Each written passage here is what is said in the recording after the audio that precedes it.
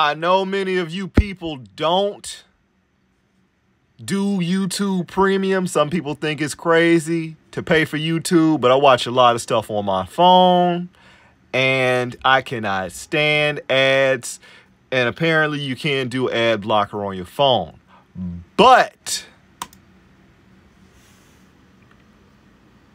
you get, oh, you get four months of, what the hell is, oh, calm?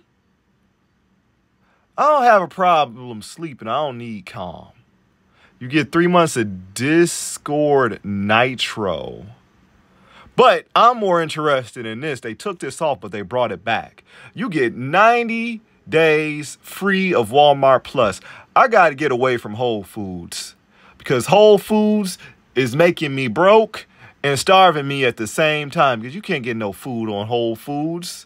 Not for like an arm and a leg, and I can't afford an arm or a leg.